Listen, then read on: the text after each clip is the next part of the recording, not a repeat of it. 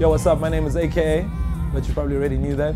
I'm a producer, songwriter, performer, and uh, musician, entertainer. That's what I do.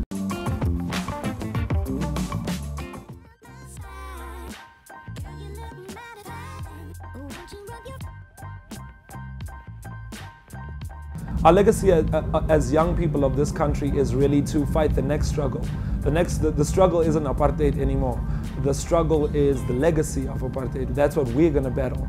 And I think we're overcoming it because I truly believe that it might sound a bit Walt Disney, but I truly believe that I was born in a country where you can actually be anything you actually want to be as a young black person. You know, obviously there are obstacles, but if you put enough dreaming into it, if you put enough hard work and passion, then you can do anything. You look at Trevor Noah, you look at me, you look at sports people, you look at actors, actresses, DJs, there's so many role models. And I think that our new struggle is the struggle to make the most of the opportunities that are now afforded to us.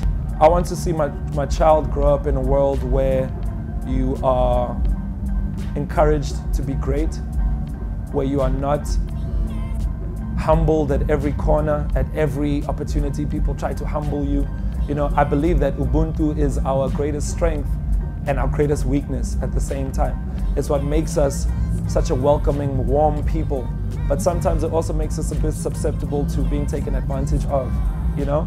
And um, I want my child to grow up in a South Africa where you are allowed to be different, where you're allowed to stand out and not conform. Um, man, I could write a book about this. Yo, what's up? This is AKA, and you are now watching Black Nation at Oppikoppi. It's a wrap. Swag.